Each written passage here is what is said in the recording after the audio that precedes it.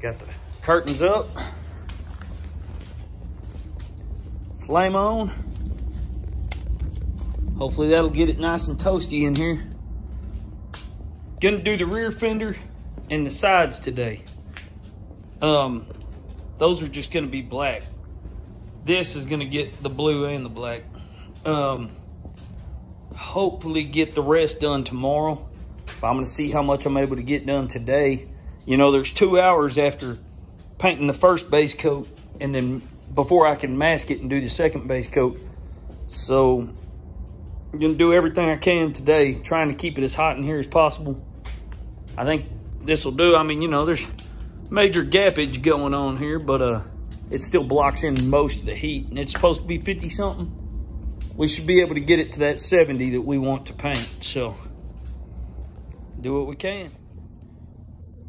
So the back fender's already been hit with 180 and 320. So now we do the 600, the wet sand. You just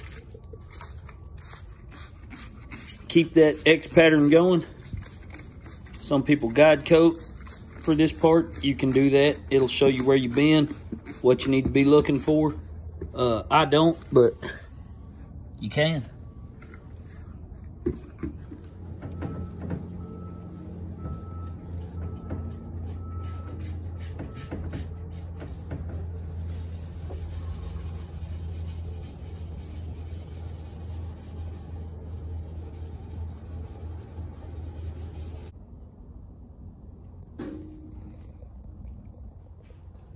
So after wet sand, you wipe everything down with wax and grease remover.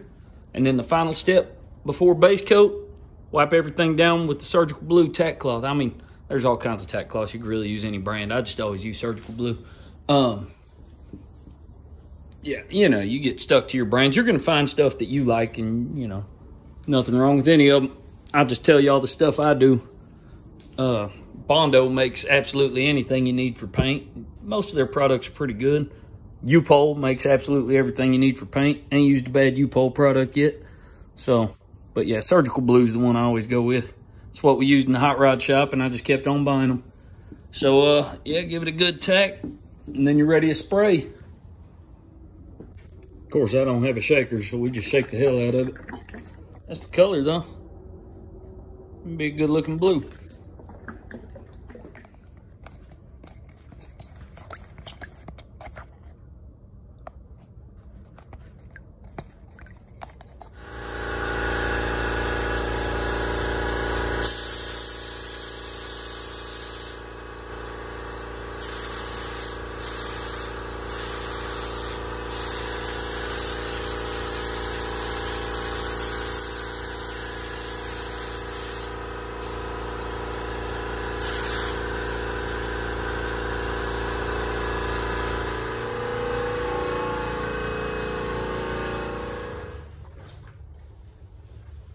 So that was the second coat.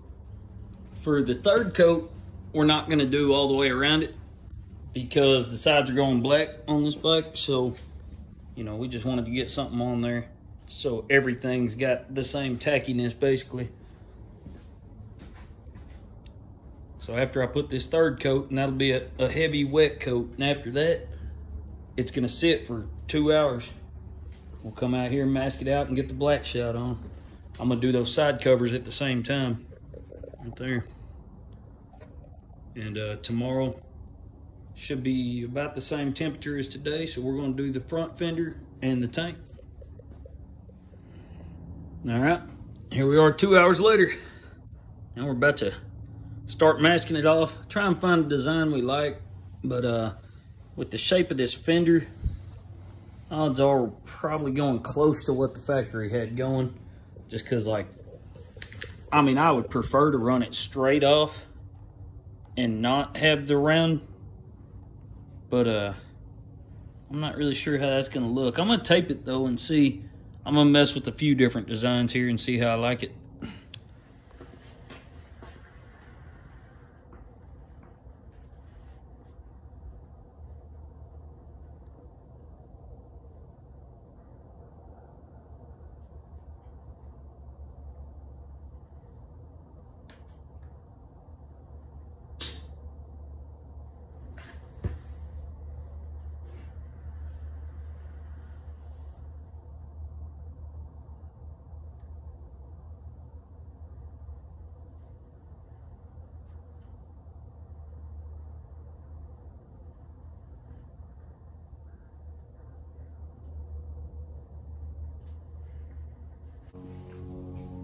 So I decided to run them straight down instead of curving at the bottom.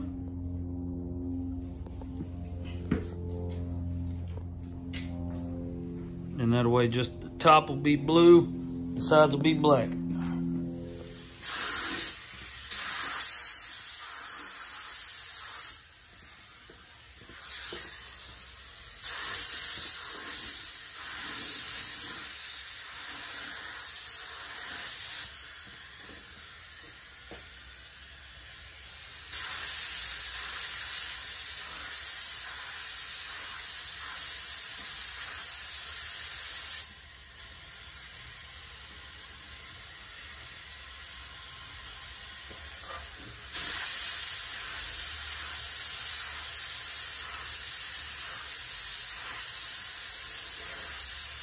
Gonna peel the mask and then we're gonna clear it.